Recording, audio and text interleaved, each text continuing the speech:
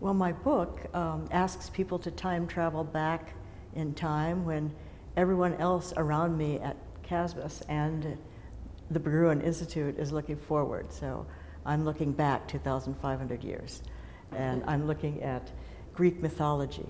Um, basically, my question was, uh, could people actually imagine the concepts, the ideas of robots, automatons, and artificial intelligence and other ways of surpassing and improving on natural life?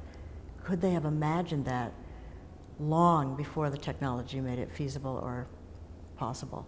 And it turns out that they could in Greek mythology, which explored those very concepts in the time of Homer. So around 750 to 650 BC.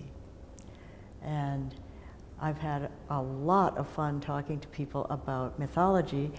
Uh, people who are looking forward, they find it ironic that I'm asking them to look backwards, and yet the myths are so sophisticated and so relevant, and they grapple with the same ethical and practical problems of aut automatons and artificial life that it's, it's quite a remarkable con continuity and foreshadowing.